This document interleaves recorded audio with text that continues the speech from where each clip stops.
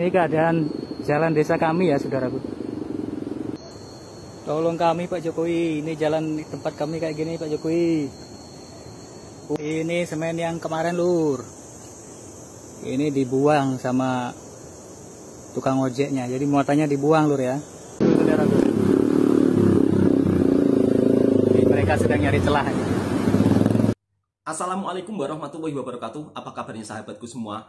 Untuk sahabat-sahabatku yang menonton video ini, tolong diviralkan, tolong disebarluaskan, dan teruntuk orang-orang yang membuat konten daripada kalian sibuk mencari kekurangan negara orang, lebih baik kita melihat kekurangan negara sendiri. Di Indonesia banyak sekali kekurangan yang perlu kita suarakan, termasuk salah satu video ini ya, ada sebuah jalan desa dan di mana jalan tersebut benar-benar sangat membuat saya sedih iya, rasa ingin menangis iya, dan mudah-mudahan video ini juga bisa dilihat oleh Pak Jokowi sebab di dalam video tersebut para warga juga meminta tolong kepada Pak Jokowi agar jalan tersebut bisa dibangun dengan layak dan bisa dilewati oleh masyarakat dengan nyaman. Harusnya hal-hal seperti ini harus kita suarakan. Untuk para konten kreator harusnya menyuarakan ini semua supaya pihak-pihak yang berkepentingan bisa melihat betapa sedihnya rakyat ketika mau pulang ke rumah saja merasa kesulitan mau menjual hasil panennya, hasil tanamannya juga kesulitan untuk pergi ke pasar, untuk balik lagi ke rumah. Ini sungguh sangat miris ya. Mudah-mudahan dengan saya membuat video ini viral dan tentunya ada jalan penyelesaian dengan secara baik. Bahkan yang membuat saya terkejut sampai-sampai harga semen saja tiga kali lipat daripada harga semen yang ada di kampung saya ya. Sangat-sangat menyedihkan. Berikut kita simak videonya. Untuk teman-teman tolong viralkan dan sebarluaskan video ini. Untuk teman-teman yang suka mencari kekurangan negara tetangga, baiknya mari kita lihat kekurangan negara sendiri. Mari kita suarakan supaya hal-hal seperti ini bisa diperbaiki oleh pihak-pihak yang berkepentingan karena ini sangat penting daripada kalian mencari kekurangan tetangga, sibuk cari-cari kesalahan tetangga, ya lebih baik kita mencari apa yang kurang di negara kita untuk kita suarakan supaya ada perbaikan. Bukankah seperti itu sahabat-sahabatku semua? Yuk langsung kita simak videonya bersama-sama. Jadi kalau menurut kami atau bagi kami di sini, jalan segini ini, ini udah sangat bagus ya. Tapi ketika nanti ada hujan ini, waduh, pokoknya luar biasa hancur. Masya Allah. Jadi seperti ini lur, penampakan jalan di desa Bandar Dalam ya. Ini jalan desa ya? Dusunnya Rowo Becik namanya. Dan berada di Lampung. Nih, bisa Sampean lihat jalannya ya. Ini ngeri, ngeri, ngeri. Rumah penduduk yang paling ujung ini ya. Yang pertama kita lihat kalau kita dari Pasar Wehni.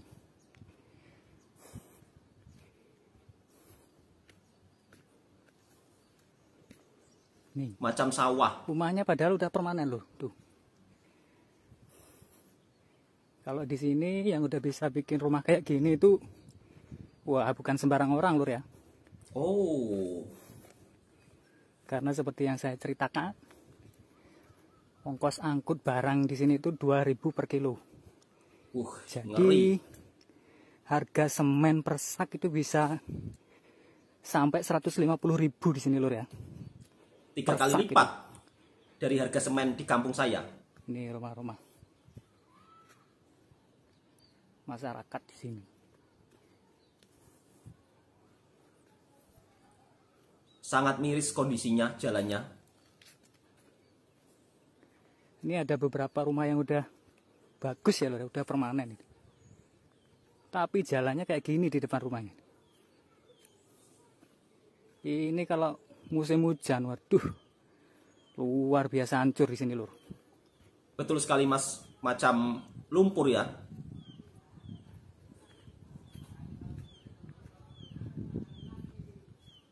Yang nggak terbiasa mungkin juga agak kesulitan ya. Rumah lagi. Ini kalau desa Wayaru dari sini sekitar 3 kiloan lagi lur ya. Mudah-mudahan video ini juga viral. Jalannya. Tolong kami Pak Jokowi, ini jalan tempat kami kayak gini Pak Jokowi. Udah lebih dari 50 tahun Pak Jokowi kami kayak gini. 50 Kami tahun berada di lebih. Lampung bagian pesisir barat Pak Ya Jokowi Allah. kabupatennya. Tolonglah kami Pak Jokowi.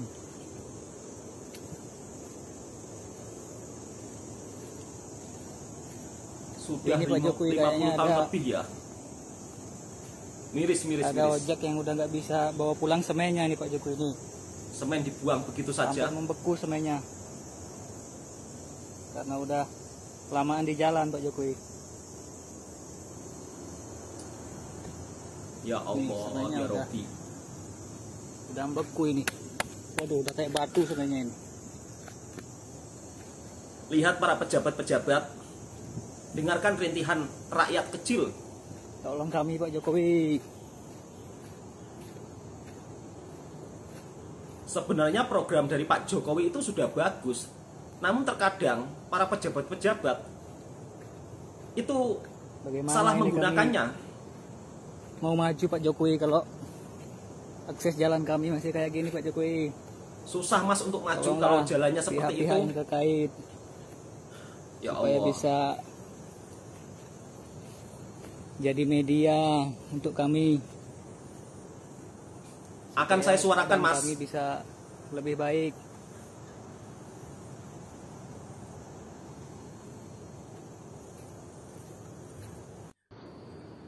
Tolong kami Pak Jokowi. Tolong kami Pak Prabowo. Tolong kami Mas Gibran. Ini akses jalan antar desa kami di desa Wayaru Kabupaten Pesisir Barat karena kami merasa cuma Pak Jokowi ya dan Pak Prabowo serta Mas Gibran yang bisa. Karena pemerintah daerah sudah berusaha selama ini dan tidak membuahkan hasil ya. Ya Allah, ya Jadi, Robbi. kami sangat mohon agar Pak Jokowi bisa memberikan kami solusi karena jalan ini sangat berarti bagi kami. Dan keadaan jalan seperti ini udah berpuluh-puluh tahun kami lalui Pak Jokowi. Sekali lagi dengan kerendahan hati kami kami mohon perhatiannya dan dukungannya agar akses jalan kami bisa segera mendapatkan solusi yang terbaik buat kami. Masya Ya, dan terima kasih. Sampai cari akses lain ya. Cari jalan lain. Walaupun resikonya sangat berbahaya ini. Kita doakan supaya mereka baik-baik saja ya. Tapi bagi kami di sini, kami sangat-sangat terbiasa ya dengan hal Awas, Mas. semacam ini.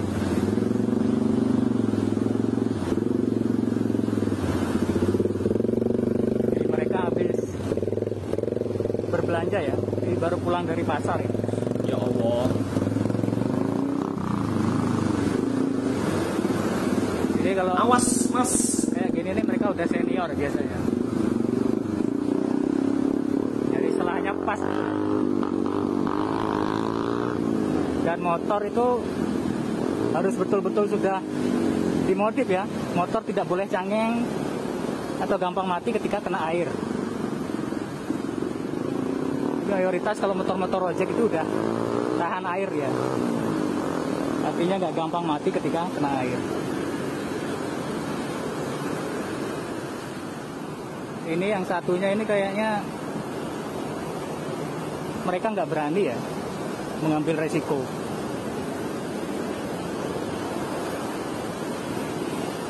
Tapi berubah pikiran lagi. Ngeri loh, ngeri. Kita lihat.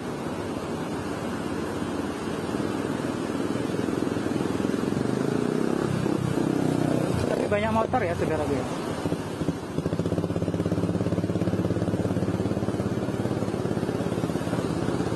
Sangat berbahaya sekali ya. Jadi mereka kalau bahasa di sini bahasanya nyolong ya. Nyolong agar kita bisa melewati ombak ini. Curi-curi jalan. Demi untuk pulang ke rumah. Resikonya bertaruh nyawa. Motor itu harus betul-betul meyakinkan. ya. Sungguh sangat memilukan. Di negeriku yang tercinta. Keadilan sosial bagi seluruh rakyat Indonesia hanya tulisan belaka. Mereka baru pulang dari pasar ya.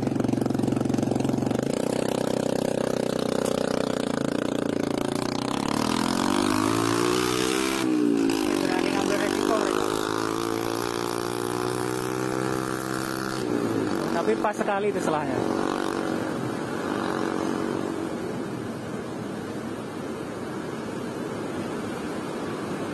Mudah-mudahan Begitulah saudaraku keadaan kami di sini ya. video ini viral. Kami sekedar mau ke pasar aja sangat-sangat menyusahkan ya. Banyak sekali resiko yang harus kami lewati. Jadi kembali kami mohon dukungannya dan apresiasinya ya saudaraku supaya video kami ini bisa segera eh, sampai ke pihak-pihak yang terkait ya Amin, Mas. sehingga Amin. bisa segera didengar dan bisa memberikan kami solusi agar jalan kami ini bisa segera eh, mendapatkan penanganan saudara. Sekian, terima kasih saudaraku. Jadi ini penampakan ojek-ojek Wayaru ketika menyeberangi muara ya saudaraku. Sampai menyeberangi sungai ya. Jadi mereka harus pakai feeling ya, mana yang dalam, mana yang enggak. Karena kalau terlalu dalam itu motor pasti nggak mampu ya. Motor akan langsung mati. Itu sangat berbahaya ketika motor ada muatannya.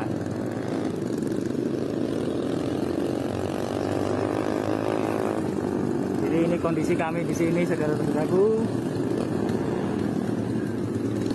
Sangat-sangat memprihatinkan ya di tahun 2024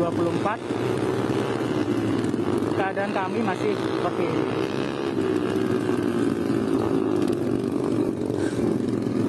Saya sangat sedih Mas melihatnya. Di tahun 2024 ternyata Ini kebetulan menjelang lebaran ya. Jadi jalan itu lumayan ramai ya. masih ada Karena jalan warga banyak yang keluar untuk berbelanja yang Kebutuhan. tidak bisa dipakai. untuk menyambut hari raya Idul Fitri.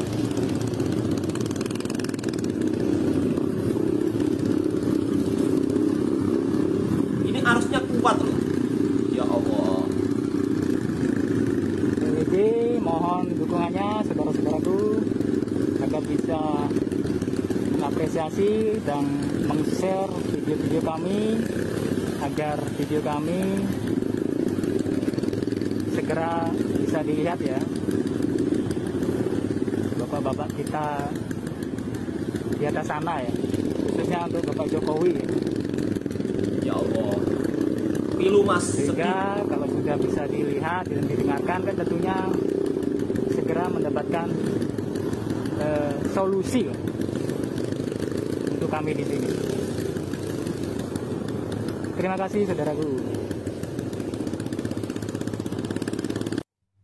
amat sangat sedih apabila di tahun 2024 masih melihat saudara kita yang tinggal di pedalaman dengan jalanan yang sangat berlumpur, jalanan yang bertaruh nyawa, sekedar untuk balik ke rumah, sekedar untuk pergi ke pasar.